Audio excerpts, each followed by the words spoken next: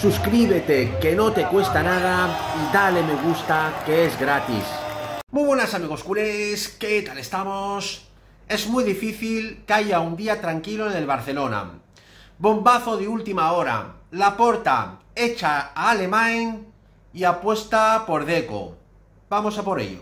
Oficial, Deco ficha por el Barça como director deportivo.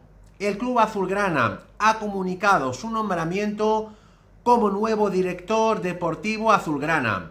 Deco ha firmado el contrato con el presidente Jean Laporta hace algunas horas por las tres próximas campañas, es decir, hasta la finalización del mandato presidencial en 2026. Y Mateo Alemán dejará el club tras el mercado estival, al entender que se abre otra etapa en la entidad. Luego hablamos de este tema. Ojo, ojo a este tema. Aunque ya lleva ejerciendo casi como tal desde junio, Deco es desde hoy el nuevo director deportivo del Fútbol Club Barcelona. Un mes y medio después de que expirara el contrato de Jordi Cruyff al final de la pasada temporada.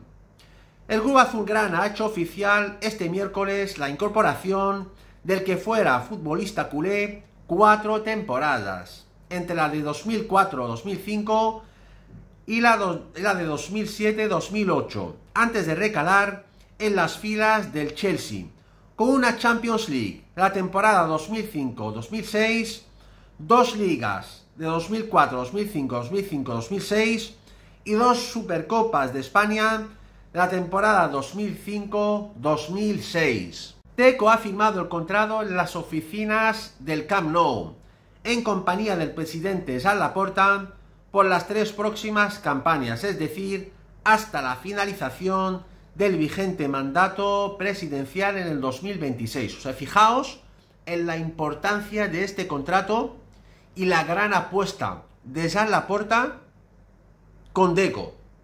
Rafa Juste, vicepresidente deportivo, y Alejandro Chavarría, ex directivo del club, ex cuñado de Laporta y buen amigo de Deco, estuvieron también presentes en el encuentro junto a Mateo Alemán.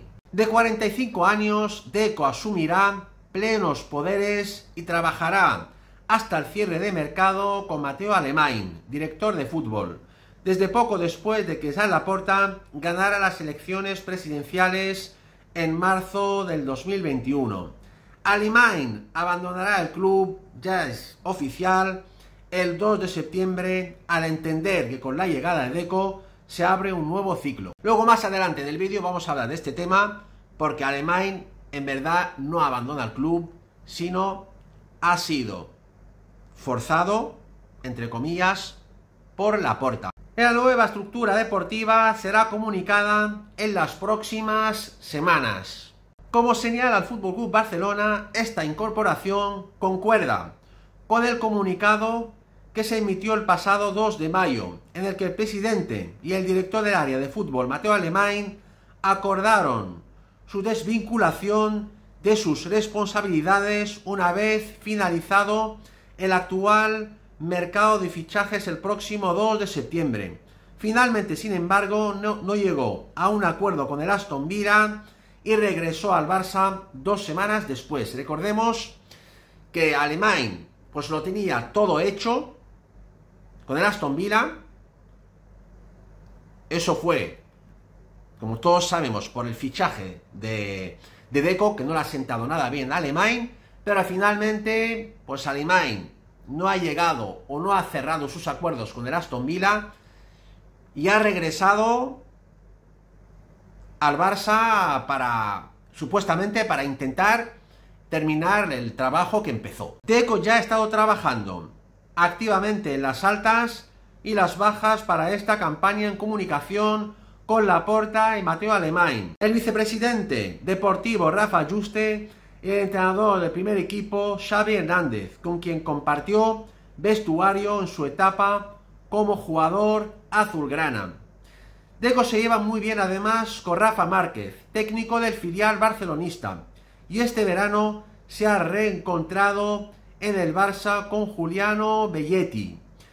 que se ha incorporado como segundo entrenador del juvenil A con Óscar López al mando del equipo. El brasileño nacionalizado portugués es un viejo deseo del presidente Laporta para ocupar el cargo de director deportivo del Barça. Pero, pero Deco prefirió mantenerse como asesor del mercado sudamericano y seguir con su agencia de representación ya vendida ahora como paso previo a aterrizar en el club azulgrana. Como agente participó en el fichaje de Rafinha, como, todos sabemos, la pasada temporada. Yo la verdad es que estoy todavía en shock, supongo como vosotros, porque no esperaba para nada que saliera esta noticia ahora. Y más con lo bien que trabajaban los dos, Alemán y Deco, y el equipazo que formaban los dos juntos. Hay que reconocer que Alemán ha hecho un gran trabajo desde su llegada al Barcelona, sobre todo en las temporadas anteriores, cuando estaba el, eh, Barcelona en la ruina, o sea, Alemán ha encontrado un club prácticamente destruido por Bartomeu y su directiva y ha hecho un trabajo faraónico. O sea, ha hecho algunos fichajes que prácticamente eran imposible para cualquier director deportivo. Pero él lo ha logrado. Pero también tengo que reconocer que algunas decisiones que ha tomado Alemán pues no me han parecido las más correctas. Pero aquí hay que dejar una cosa clara. Mateo Alemán no abandonó el Barça por voluntad propia, sino más bien se ha visto forzado por la decisión que acaba de tomar la porta de entregarle todo el poder, en este caso, a Deco. Referente al trabajo de Deco, pues no se le puede poner ninguna pega. Hasta el momento es extraordinario. Y más con la gestión eh, del fichaje de Rafinha por el Barça, cuando estaba el Barcelona en una situación más complicada que ahora, pues Deco ha hecho un esfuerzo brutal para que el delantero brasileño acabe vistiendo de blaugrana. Atención a esta noticia bomba de última hora.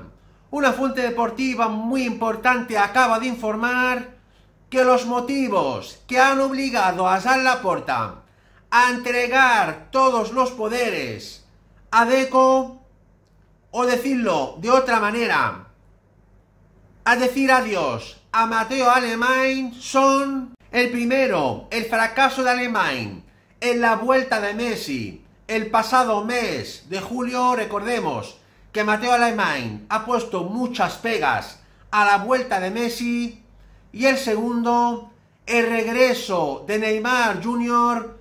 para este mismo mes de agosto. Yo sinceramente estoy totalmente de acuerdo con nuestro pressing. En mi opinión, ha sido un gran error que Mateo Alemán no apostara primero por la vuelta de Messi y luego por el regreso de Neymar. Esta ha sido mi grandísima noticia de hoy, amigos culés.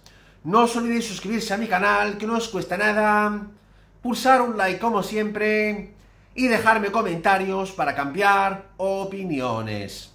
Muchas gracias. Forza Barça por siempre. Vamos a por todas.